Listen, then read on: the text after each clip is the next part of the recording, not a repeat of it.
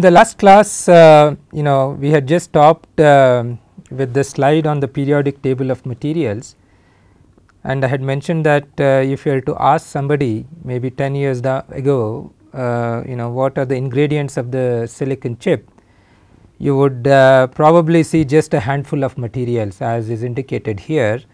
Silicon of course, uh, is a group 4 semiconductor and in addition um, you would need uh, arsenic and phosphorus to dope it n type uh, and boron to dope it p type right. And uh, of course, you would need oxide because we have been talking about uh, FET structure you need a silicon oxide as a gate insulator and also you would need oxide for isolation and so on and so forth right. And once you complete your transistors you need to connect them. So, you would certainly have aluminum as an interconnect layer right. And you know hydrogen is the lightest element no matter what uh, you do you will always have hydrogen. And it turns out we also intentionally introduce hydrogen in our silicon technology uh, to do what is called uh, surface passivation of silicon. In other words when you put oxide on silicon you see it is a it is a system of two different materials. When you go from one material to the other material at the interface you have a lot of defects right by having hydrogen out there hydrogen can passivate these defects which are essentially dangling bonds of silicon which are unterminated bonds and uh, hydrogen would uh, minimize the defects which is extremely important in a field effect transistor because interface is the key in a FET device right. And you know once you complete your chip you passivate that chip with what is called a silicon nitride and hence you will have also nitrogen in it and you when you put it in package you will probably have gold wires uh, connecting the silicon pads onto the package pins right. So, this was very simple just handful of materials were ingredients of your silicon chip. However, the world has changed completely now you know if you were to ask the same question what is the ingredient of a silicon chip today you will see you know a plethora of materials in uh, state of the art silicon chip today right. As an example for example you know in addition to the doping materials which were phosphorus and arsenic we are also using antimony as a doping material right we are also using indium as a doping material right and uh, you know for metallization we are using a variety of materials as well for example copper is replacing aluminum right. So similarly there are reasons why we introduce a variety of materials in fact it is fair to say that we are sort of digging through the periodic table it is sort of an exploration in periodic table to really build nanoelectronics chips. In fact as you know the course is titled nanoelectronics devices and materials in fact as we go on in future lectures we will also understand why some of these materials are being introduced right. This is very crucial right. So, an appreciation for materials technology is very important. New device structures are also very essential going forward right. This is our you know conventional uh, uh, MOS structure metal oxide uh, semiconductor field effect transistor right.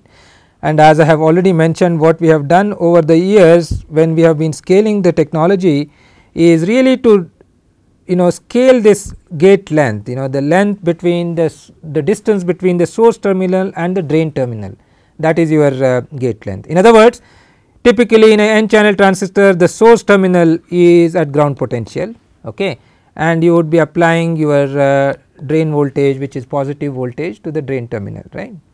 Now what is happening with scaling is that this drain terminal is coming closer and closer to the source this is what we call a proximity effect right. I mean we need to consider the two dimensional distribution of electric field. In other words the drain electric field has started influencing the behavior of the transistor out here even without the gate being there to turn on the transistor meaning Ideally when the gate voltage is 0 right your Vg equal to 0 should corresponds to very very ideally 0 current, but you never get a 0 current nonetheless very small current should be out there.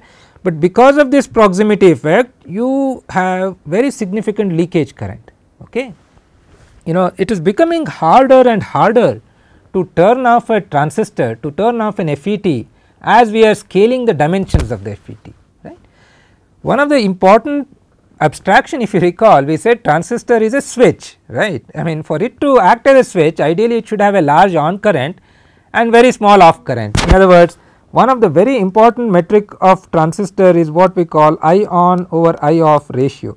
Ideally we want it to be infinity right meaning I off should be 0 uh, typically for a given on current, but of course you know you can't get uh, infinite on to off current ratio, but traditionally in the past we have been easily getting on to off current ratio which is of the order of 10 power 6 okay? A million times um, on current is a million times more than off current which is a fairly good abstraction of a switch right? Because when it is on it is con conducting 10 I mean 10 to the 6 times current when it is off right. But now you see this has started coming down okay as we are starting to move this down you know it could come down as low as 10 to the 3 or even less than that. Now imagine if your on current is only 100 times greater than your off current you know that is not a very good abstraction of a switch you see. So in other words we need to do something out here something in this transistor structure so that we can bring this on to off current ratio back to a reasonable number you know 10 to the 4 10 to the 5 that kind of a thing right. We can do that only by using new device structures and hence as we will go on in the course we will also see how do we engineer these transistors so that we can really get uh, a better transistor right in spite of the fact that we are scaling we are bringing this drain voltage closer to the source terminal right. So, that is a very important challenge that we need to deal with right. Okay. So,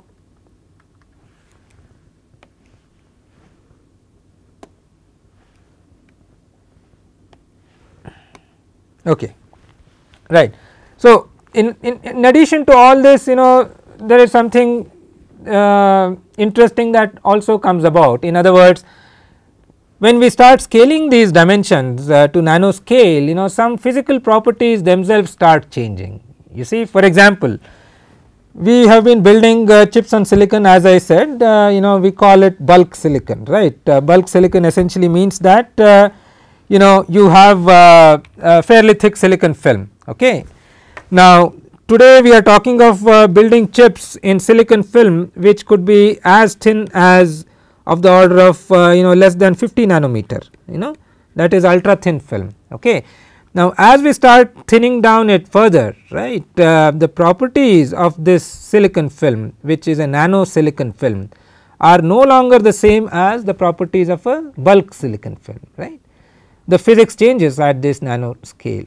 For example, the band gap is no longer the same as the thick silicon film. If the band gap changes obviously you would expect all the semiconducting properties would change like carrier concentration so on and so forth right.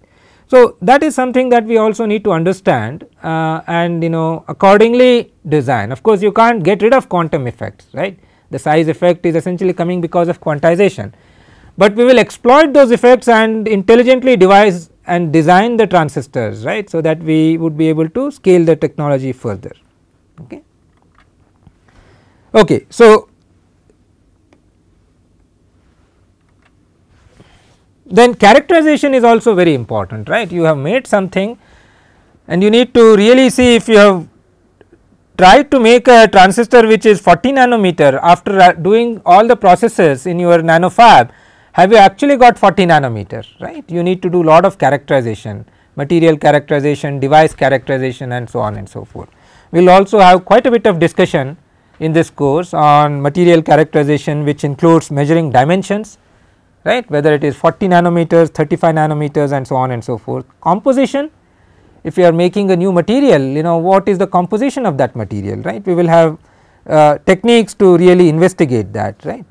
Stresses become extremely important right uh, you have multiple materials stacked together their uh, you know thermal expansion coefficients are not going to be identical right. So, hence there will be stresses that will be developed in these materials and they, they could have significant impact on the device sometimes detrimental. On the other hand we can also exploit these stresses for our benefit and design devices intelligently as we will see later right.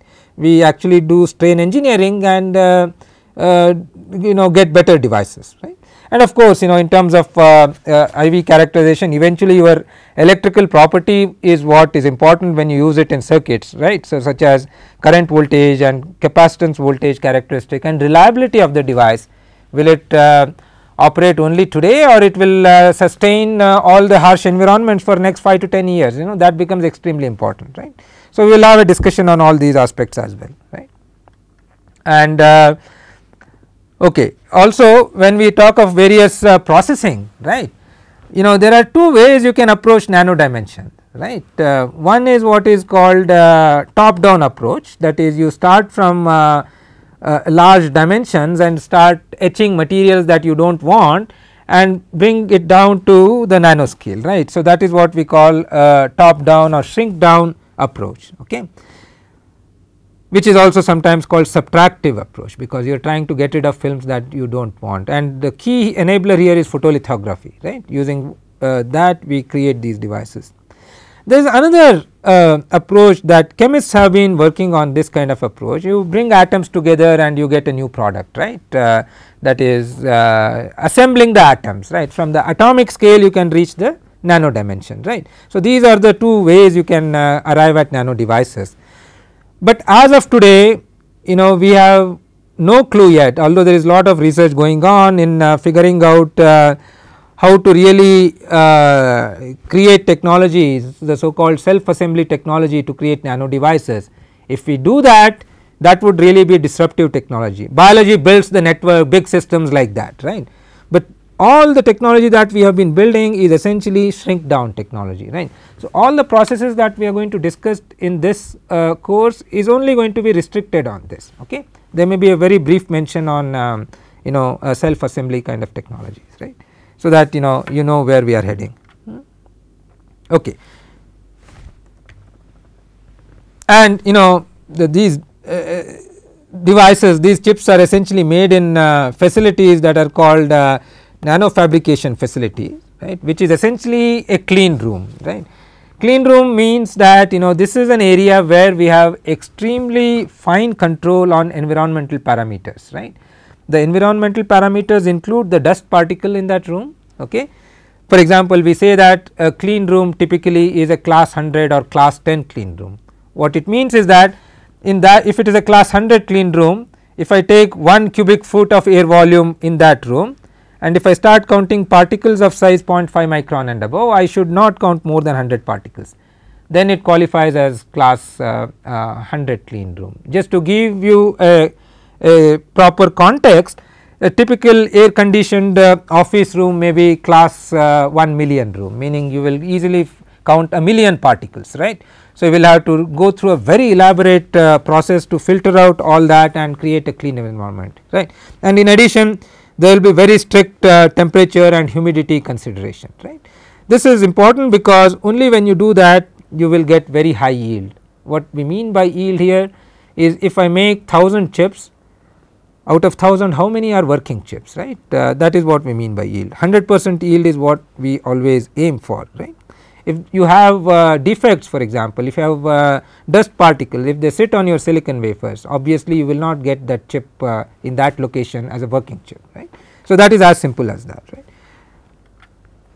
Okay. So, this and to just uh, uh, set the expectations for this course you will gain a very thorough understanding of CMOS scaling issues um, in fact, uh, we will get started on uh, CMOS scaling uh, immediately after this slide. And um, you will also understand the state of the art process flow, how does one put together different semiconductor processes? In other words what is called process integration. To be able to create a state of the art CMOS technology right. You will also understand that through this course. And uh, you will also understand why do we need new materials and device structure. I have already mentioned that very briefly, but uh, we will take several cases and uh, explain why do you need this right. And you will also have a fairly good knowledge on design techniques to be able to do what is called a non classical CMOS transistor meaning remember the device structure I showed you earlier uh, a simple uh, uh, source drain and gate structure that is what we call a classical transistor which has really worked for last 4 decades or so. Now, we are talking of non classical CMOS transistors right. So, we will also uh, have a fairly good idea on um, you know uh, understanding the design techniques for that and uh, hopefully you will also gain fairly good expertise in material synthesis and characterization through this course right. So, this is what uh, we aim uh, for through this course okay. So, then uh, let us get started with the scaling okay and again here we are looking at uh, uh, CMOS technology scaling. Okay.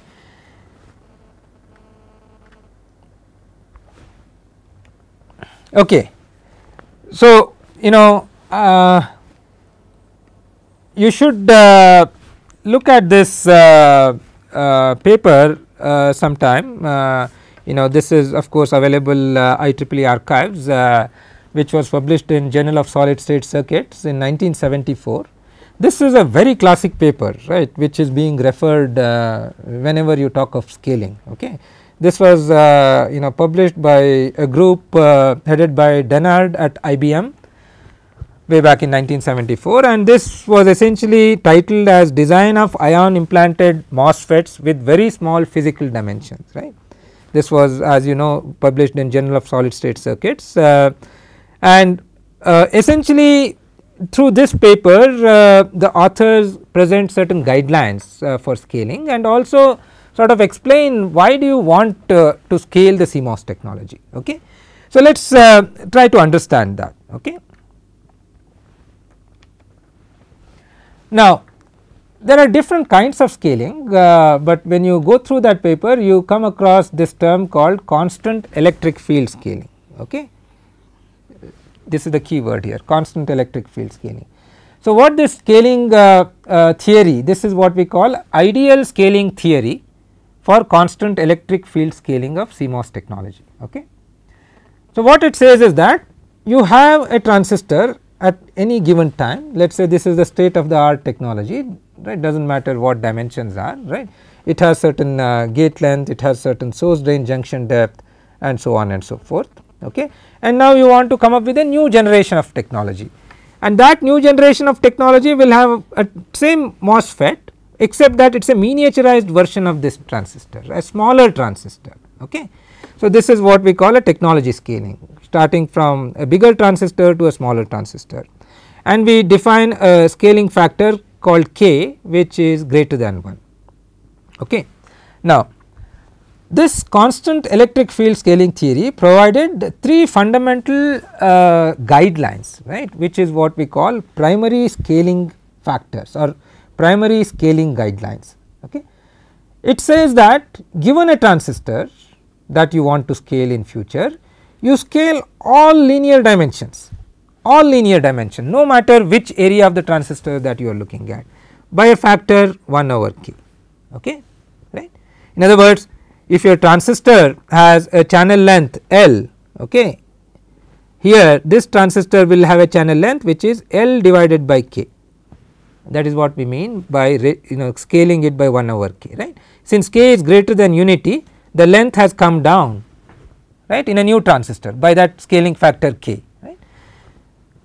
It turns out that you know traditionally we have used uh, uh, scaling factor which is about 1.4 okay from one technology generation to other technology generation. In other words 1 over k is approximately 0.7 uh, it also becomes clear in a minute why we use that okay. You see oxide thickness essentially this is your transistor and this is your uh, gate insulator right that is oxide thickness T ox that should also come down here by the same factor. Length we already talked about and the transistor has a width right in other direction right. So, the width should also scale down by the same uh, uh, amount right. So, that is uh, another important uh, parameter to uh, think about.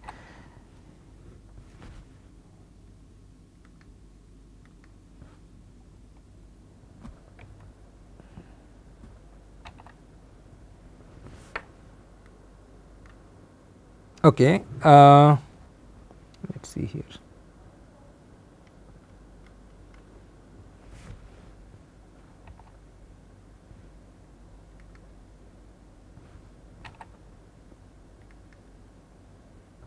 Okay. So, let us consider this transistor here uh,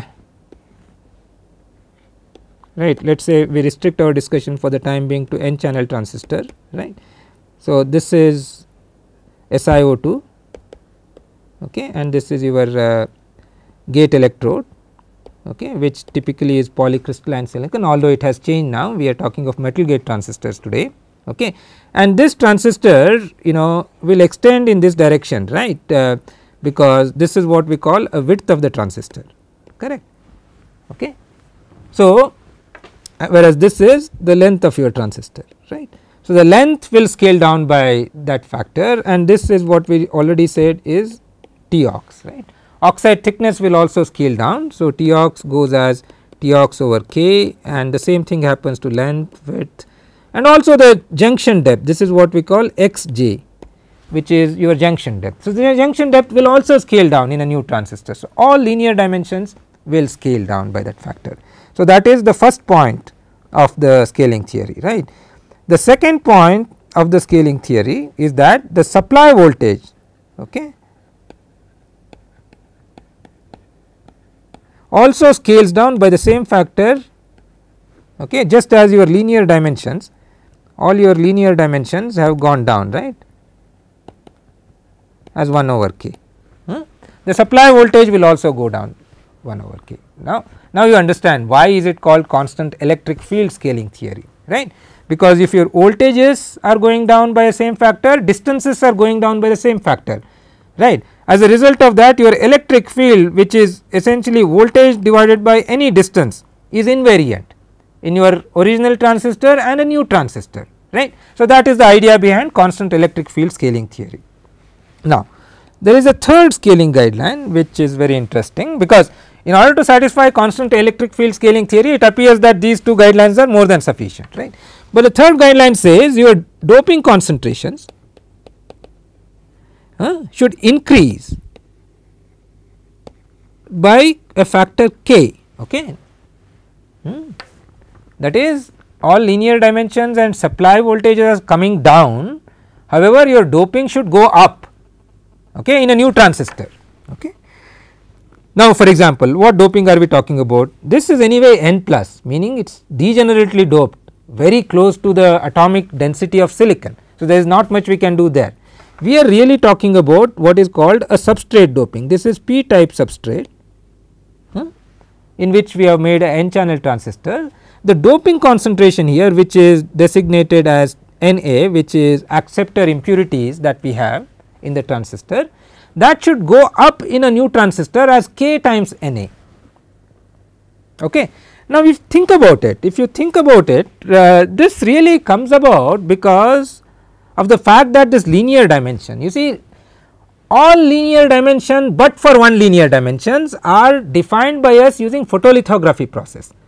Like the length of the transistor, you print the length of the transistor width of the transistor you are printing the width of the transistor and so on and so forth right. The uh, junction depth you control by how long you do the diffusion right. But there is one very important parameter which is what we call a depletion width right.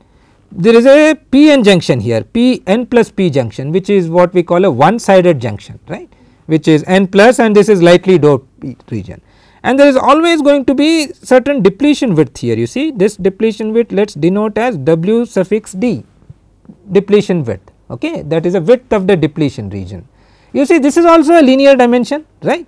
If the scaling guideline the first guideline is to scale all linear dimension we should also enable the scaling of the depletion width right. So how do you enable the scaling of the depletion width? You see for the one sided depletion uh, junction the depletion width is essentially given by this expression right. This is the expression for depletion width for one sided junction right.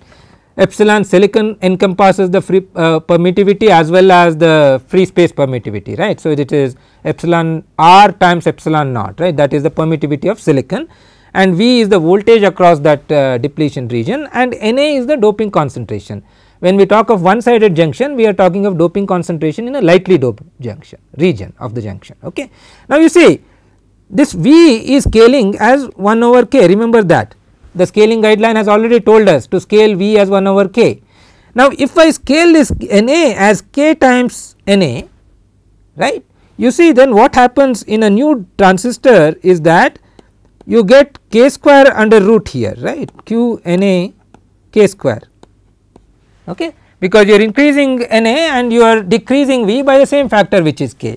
In other words your new transistor will now have a depletion width which is k times smaller than the previous transistor right and hence you have been able to scale all linear dimensions consistently as per the requirement of a constant electric field scaling theory right. So, this is essentially the basis for the constant electric field scaling theory. Now, something very interesting comes out if you follow these three primary guidelines right. Now, let us first do what is called derived device behavior. Okay. If you follow that guideline what happens to the device behavior? We are now looking at uh, four important device behaviors here right. One is electric field we already said electric field is invariant it does not scale it remains same right previous electric field multiplied by 1 gives the new electric field correct. Voltage is important metric for a device we know voltage is scaling as V over K okay because of that your current will also scale over as sorry I over K okay. Hmm? Now one other very important parameter for device is a capacitance in fact that is the most important parameter when we talk of CMOS circuits. What is capacitance? You see capacitance is again epsilon naught epsilon r times A divided by distance between uh, you know whether it is depletion capacitance or a parallel plate capacitance it does not matter. Okay. Now, let us think about what happens to the device capacitance what is its scaling behavior right. A is area which has two linear dimensions in the numerator and D is also one linear dimension in denominator. In other words A goes down as 1 over k square and D goes down as 1 over k effectively your C will go down as 1 over k. Right. So, your C goes down as C over K. Hmm? In a new device capacitance decreased you see capacitance is like inertia for these devices. If your inertia goes down these transistor will start switching faster and faster you know that is the key. We will find out that in a minute in what is called derived circuit behavior right. Now with this background let us look at uh, the circuit behavior right. If I follow this what happens to your circuit? Okay. When we talk of CMOS circuit, we should envision the CMOS circuit as capacitive circuits you see. For example, let me show you a very simple the simplest CMOS circuit which is an inverter okay, which has a p channel transistor and an n channel transistor connected in series okay. This is VDD, this is your PMOS and this is your n channel transistor and this is your output okay and this is your input. Okay. You see this is an inverter right that is when your input is high output is low and you know vice versa. Okay. But the figure of metric for us is not the steady state. How long does it take to switch from one state to the other state that is your switching speed that in turn will determine your circuit speed right. Any complex circuit whether it is microprocessor or memory is all you know large number of such smaller circuits aggregated together you see. So, the switching speed is very important. Now, when we talk of switching speed remember this circuit is going to drive a next stage of a CMOS circuit right? Does not matter what that is. It could be a similar inverter or it could be a NAND gate or you know so on and so forth. In other words when we look at the input of any CMOS circuit we need we essentially see a gate capacitance right? We see a capacitive input right? Because it is going to the gate insulator here uh, FET right. So, you know you have capacitance here. This capacitance really has to be switched between 0 and supply voltage depending on when I am switching it from 0 to VDD or VDD to 0 okay. In other words if my input goes from 0 to VDD okay then my output should go from VDD to 0 okay this is what I want to be able to do in CMOS circuit right. But you know there is going to be if I were to do it in a time axis if this is my input and this is my output if this input goes up at time t equal to 0 you know my output will have certain latency right it will not switch instantaneously right and this is a very crucial parameter which is typically called propagation delay. Hmm. We say that in CMOS circuit the propagation delay which we also sometimes write as tau, tau is given by a metric called CV over I. Okay. Where C is the capacitance that you are switching at any node in a CMOS circuit, V is the voltage that uh, that capacitance needs to be switched uh, you know as I said between uh, 0 to VDD or VDD to you know uh, ground as I mentioned already and uh, then uh, you know I is a current that is available for you to charge and discharge this capacitor. In other words for this to go from output to go from high to low right? Output was high you see. Output was high. How will it go to 0 it will go to 0 only by discharging that node through this transistor which is sitting down. Otherwise you can't uh, bring it down right? And that happens because you have made this input high. Earlier when it was low p channel was on and hence your output was pulled up to VDD right. Now I have switched off the p channel transistor but capacitance still has that charge you see that needs to be discharged unless you do that you will not go to 0.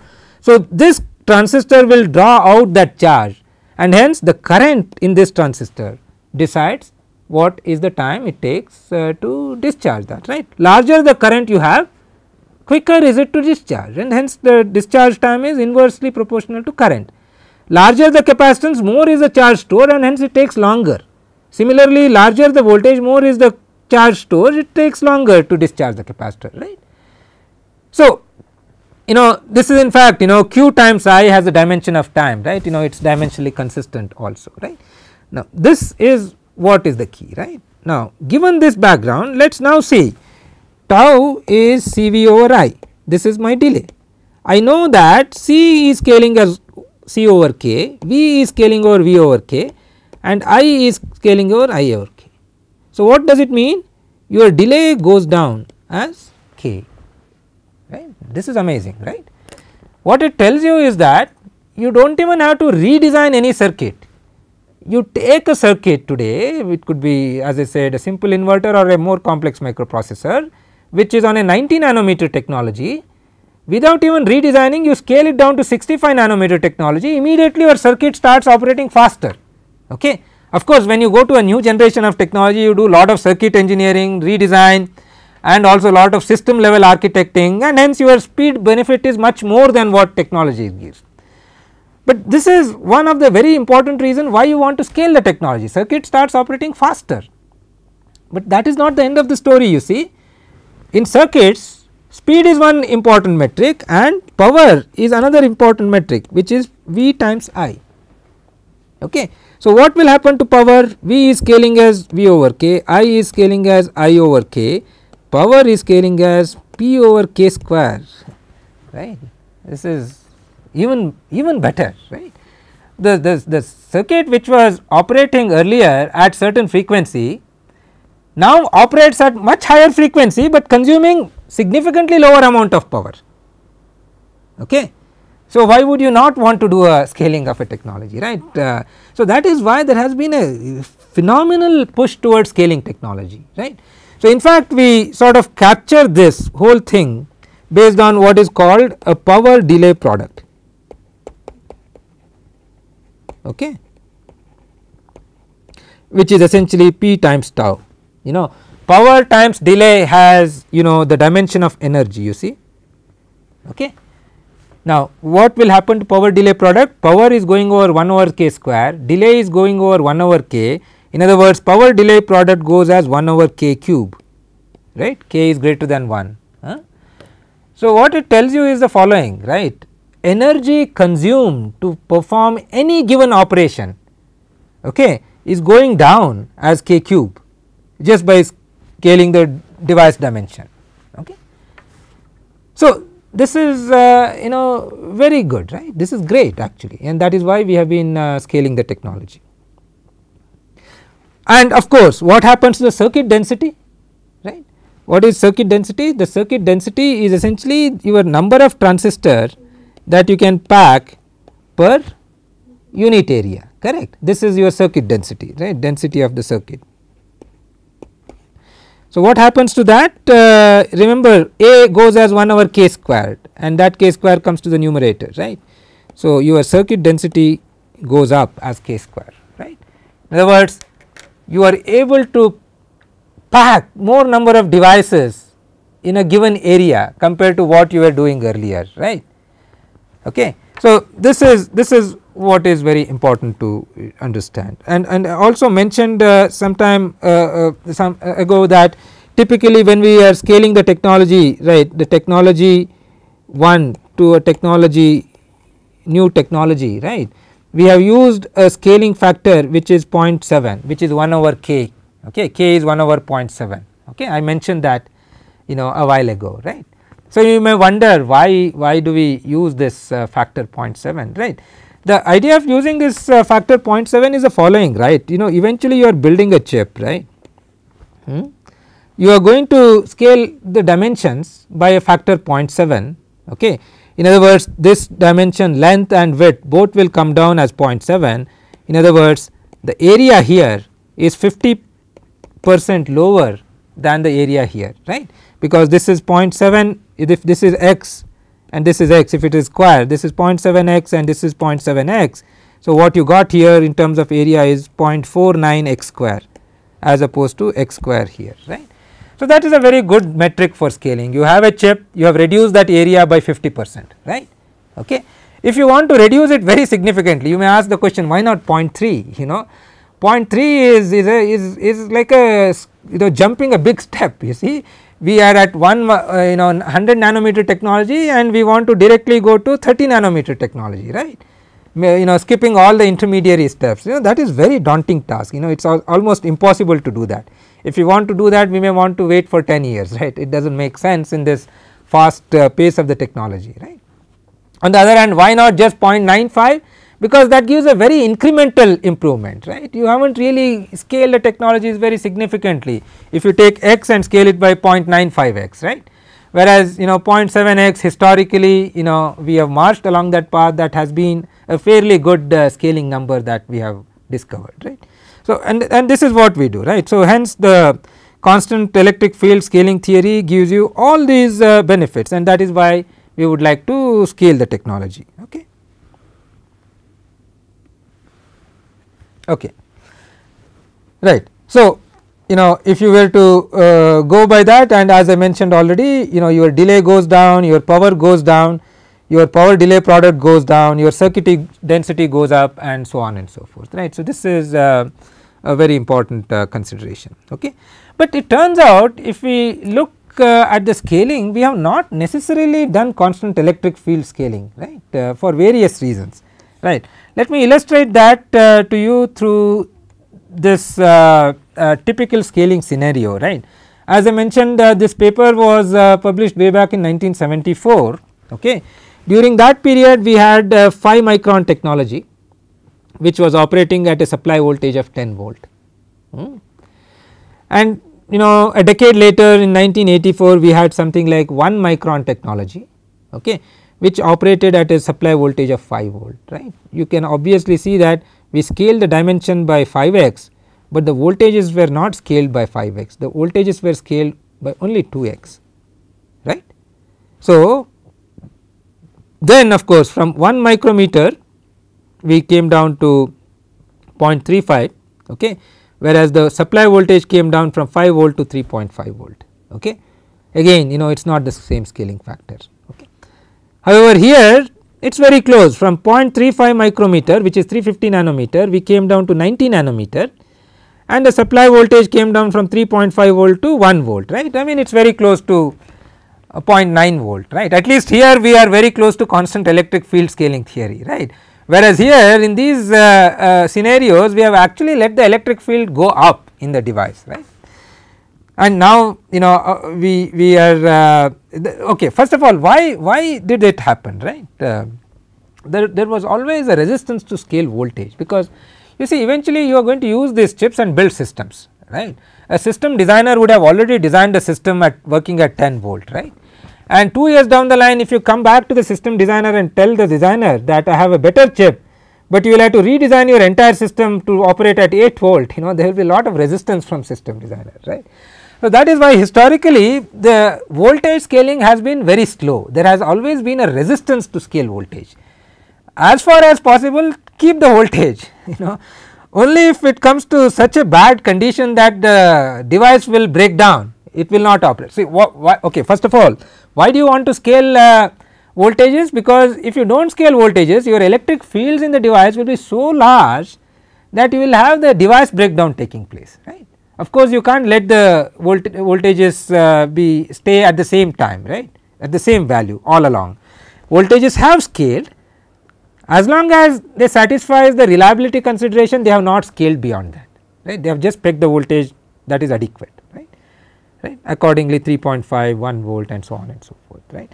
And that is why we define a few other scaling scenarios that are called constant voltage scaling in which case this is another extreme right? You do not scale the voltage from the current generation of technology to the new generation of the technology right? Which means all linear dimensions are scaled.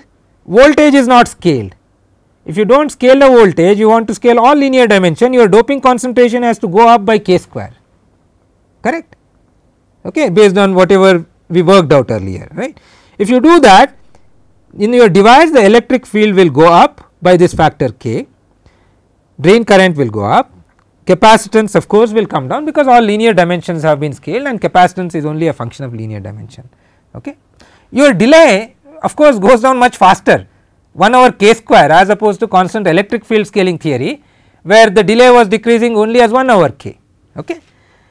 Your circuit is little more faster. You know that is also another good thing. If your circuit becomes fast and withstands uh, the reliability constraint then you are okay you do not necessarily have to scale the voltage right. However, the flip side is that your power you know will go up okay your power delay product will not scale as efficiently as it used to earlier okay right. So, these are other issues right uh, this is uh, circuit density of course will improve no no matter what right because you are scaling the linear dimension and circuit density will go up okay.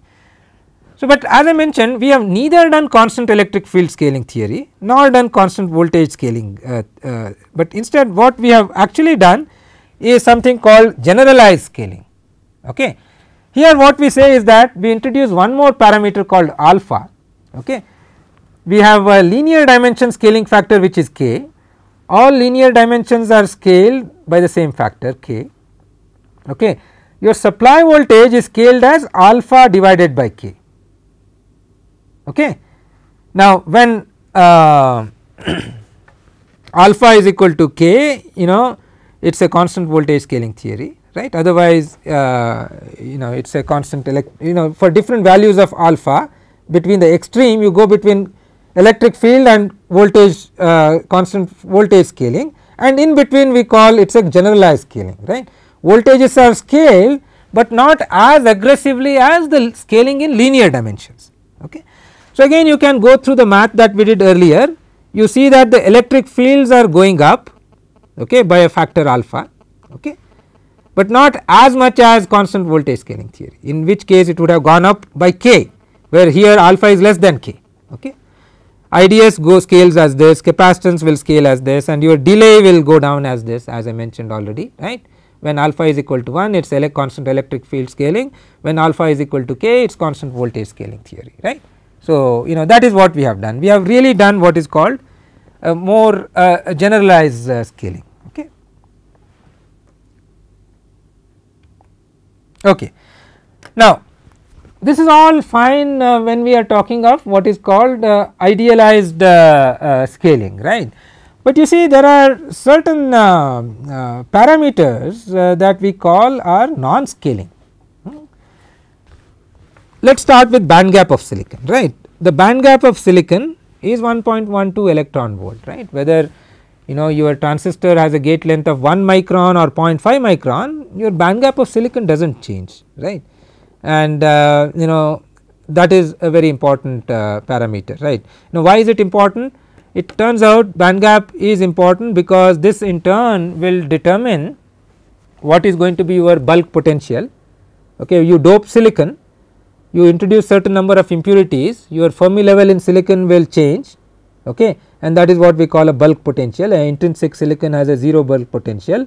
You convert it to p type or n type and Fermi level will go down. If it is p type below mid gap if it is n type it will go above the mid gap right? And that is the bulk potential right? And that bulk potential also depends on what is your band gap right? And uh, uh, your intrinsic carrier concentration depends on band gap right. So, there are a lot of uh, device parameters which are governed by band gap right right. So, they, they will remain invariant they do not really scale right and uh, thermal voltage you see this is also another important uh, parameter. What is thermal voltage essentially it is kT over q right k is Boltzmann constant q is the electron charge and T is the absolute temperature. You see if your chip commercial chips most of the commercial chips are spec to operate between minus 40 degree centigrade to plus 125 degree centigrade right that is your typical operating temperature of your chip right. Whether you do a chip in a you know 350 nanometer technology or 65 nanometer technology it is going to the same application right and hence this operating range is not going to change. As a result of that the temperature remains same you know the temperature of operation is not changing. So, kT over q does not change right. Again this has very significant implication as we will see little later right because this kT over q among other things it determines one very important uh, uh, metric of a device and that is called sub threshold slope okay okay this sub threshold slope uh, will determine what is the leakage current of a transistor okay. So this is a very important parameter. In fact we will see that one of the reason why the on on current to off current ratio is degrading as I mentioned earlier is because your leakage current increasing and that is because your sub threshold slope is invariant. You are decreasing the threshold voltage, but the sub threshold slope is not changing and hence you have very large leakage current right? We will we will talk about that later okay. Mobility degradation okay we made a very uh, uh, simplistic uh, assumptions earlier we said that voltage scales as 1 V over k current will scale as V over k hmm? okay. But in reality you know what is the current that we are talking about the current that we are talking about is a MOSFET current right uh, you know a MOSFET current for example if it is in a saturation region then it is essentially given by you know expression which would look something like this right? Okay. Where this is what we call the mobility. Uh, okay. So now if you were to uh, uh, see this uh, uh, uh, you know what we mentioned a while ago right this mobility we have assumed is not going to change okay. The mobility will remain uh, uh, constant okay. First of all now okay let us verify if mobility were to be constant whether this is indeed the case right. Remember this Cox here is a per unit area capacitance okay. In other words this Cox here is epsilon ox epsilon naught divided by T ox okay that is the Cox, Cox is not the total capacitance here okay. Now you see T ox scales as 1 over k. So 1 over k k will come to the numerator. All voltages we have said scale as 1 over k right? There is a square term here voltage square term right? So, hence you will have a 1 over k square term here in the denominator right.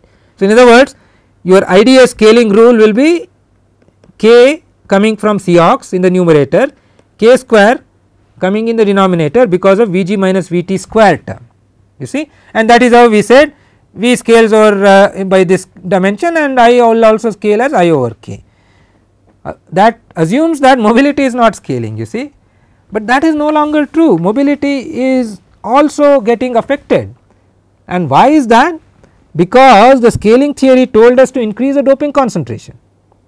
You see we had this transistor right this is the source and this is the drain and this is my p type region which is doped with certain impurity concentration. When the electrons are travelling in this channel to reach the drain terminal and contribute to your drain current they get scattered because of the presence of impurities in this channel and that is what is called the impurity scattering. And impurity scattering has a significant impact on the mobility of a transistor right on in general carrier mobility. As I started increasing the doping concentration here as dictated by the scaling guideline I had to do that you see my mobility will degrade in the channel right because these carriers will start seeing more impurity atoms and as a result of that your mobility is no longer constant right. We had implicitly made this assumption that mobility is constant and hence V scales as V over k I will scale as I over k right. So, these are the secondary effects that we need to worry about okay when we actually look at a practical device. There is also another issue of velocity saturation you see and this is also you know something uh, very important uh, issue that uh, we need to uh, address and that essentially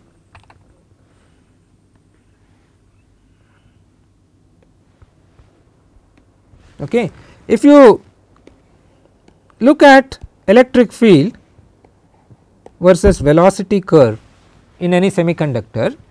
You know it will look like this. Remember what is mobility? Your velocity is your mobility times electric field. Okay? And this is that proportionality constant mobility right. So, hence V versus E is expected to be linear, but every material has a, a what is called a saturation velocity. The velocity the maximum velocity the carriers can attain in that given material. For example, in silicon the saturation velocity is about 10 to the 7 centimeter per second okay? Okay? And typically this saturation velocity we attain this saturation velocity at electric field such as 10 to the 4 volt per centimeter okay 10 kilovolt per centimeter kind of electric field you start departing from this linear relationship okay now why is this important because remember this transistor that we said n plus n plus and this is my length. Okay, the electric field in this lateral direction where the carriers are conducting right and this is the electric field which is accelerating the carriers and they are attaining certain velocity. Okay. This electric field is increasing as I said because we have not been following constant electric field scaling theory. If we have this electric field approaching this region okay, then you know your current really does not respond to the voltage beyond certain point right? You are increasing the voltage but you are already in this regime carriers cannot attain any higher velocity right? So your you know current will not really uh, increase right? In other words you will have current saturation even before the pinch off condition. Typically in a MOSFET you get a current saturation only when you reach a pinch off condition. In other words if you were to look at IDS versus uh, you know uh, VDS right. So, you have this kind of a behavior right? This is a linear region and this is a saturation region right? And you can transition from a linear region to saturation region when you have a pinch off condition correct. Now, if you have a velocity saturation which takes place even before pinch off has occurred you are increasing the voltage current is increasing, but now you have saturated the velocity of the carriers current can no longer increase beyond this point. Okay. So, you have an early saturation of the velocity and hence your current gets impacted. Okay. So, this is another important effect that we have to address. We have to look at the device and ask the question are we operating the device in velocity saturation regime if so we will have to use different set of equations to describe the device behavior right.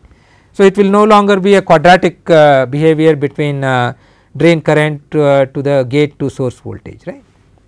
So, that is also another uh, important uh, uh, parameter to consider right. So, the other thing of course is uh, the parasitic source and drain resistance okay. Again you see when we talked about the transistor right this is the source and drain region okay and this is your gate Hmm? By applying gate voltage you are only controlling this channel. Eventually we will have a metal contact which will be coming in the source and drain region somewhere out here with a proper distance maintained between the gate edge and this contact.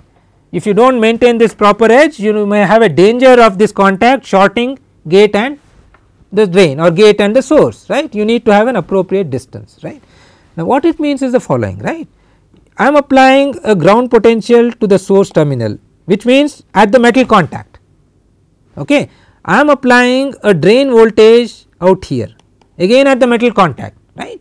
Because this transistor sitting you remember sitting all the way down in your uh, uh, hierarchy of the interconnects and silicon that we looked at uh, in the last class right. So, the, the supply is applied out there. If it is metal 5 that is where I am applying the drain voltage and the ground potential. And that signal will have to come down all the way down to the silicon although in that case fortunately we can ignore all the metal resistances right for all practical purpose, but you see this resistance out here it is no, no longer a metal right it is a highly doped silicon and this is what we call a parasitic resistance right. In other words I have a gate control only in the channel region if you were to write an equivalent model for this transistor then your equivalent model for your transistor would look something like this. This is your drain voltage, this is your gate voltage and this is your idealized transistor, but then you have a parasitic source resistance and a parasitic drain resistance which is which should not be there ideally right because eventually if this parasitic resistance is large then it can impact the entire transistor uh, behavior right. Now is it becoming large? Yes right why is it becoming large you see we have decreased these junction depths the junction depth is coming down and you know the current that is coming out here in the channel has to flow through this region with decreasing junction depth that resistance has also increased phenomenally right. So, that is also another important consideration and of course, we do something very intelligent to overcome all this right. This is what you can understand why do we need new materials you know how do we bring this resistance back to where it should be and so on and so forth right. So, that is something that uh, you need to uh, keep in mind okay. Uh, okay then uh, the last one uh, is what we call process tolerance uh, you know we will not really uh, discuss quite a bit uh, about this uh, in this course, but what it uh, tells you is the following right. If you are talking about a circuit right you are making printing manufacturing large number of transistors you have this chip as I mentioned there is a transistor sitting here transistor sitting here and so on and so forth. Let us suppose that you have designed these transistors to be identical transistor with W is equal to let us say 0.5 micrometer and L is equal to let us say 100 nanometer or 0.1 micrometer. Okay. But when you actually fabricate this transistor it turns out these transistors if you were to measure electrical characteristics they do not come out identical to each other. There is what is called a process variation. Huh? When you are trying to print here it may not print exactly 0.5 here it may print as 0.52 and here it may print as 0.49 and here the length may print as 0.11 and here it may be point uh, you know uh, 099 or whatever it is right. So, there is going to be variation in the processing that we have there is a process tolerance. Hmm. What is happening is that it is becoming harder and harder for us to make tiny transistor exactly identical to each other. In other words if we were looking at a 1 micron technology and look at any device parameter such as threshold voltage which is a very important parameter for a transistor you will still have a distribution, but the distribution would have looked something like this very tight distribution with very very low standard deviation. On the other hand this is what you would see in a 1 micron transistor. On the other hand in a 90 nanometer technology if you were to look at a VTH distribution you may see a distribution which would look like this right you have made a million transistor which were supposed to be exactly identical to each other, but they are no longer identical they have actually a huge spread. How do you manage this spread right this is also a very important consideration that uh, one has to keep in mind right. So, this is what we call as uh, some of the uh, parameters which are non scaling and uh, we will have to deal with these parameters appropriately right. But just to sort of uh, summarize and conclude we require scaling because scaling will immediately enhance the circuit performance make the circuit more efficient in terms of speed and consumption of power and so on and so forth. However, there are a lot of issues that will come about because of scaling because the world is not ideal right as we looked at some of the non ideal factors right. We need to be able to design the transistors so that we overcome all these non idealities and still be able to derive all the benefits that were indicated in the beginning in a ideal scaling theory right. We will look at some of these things in the next class.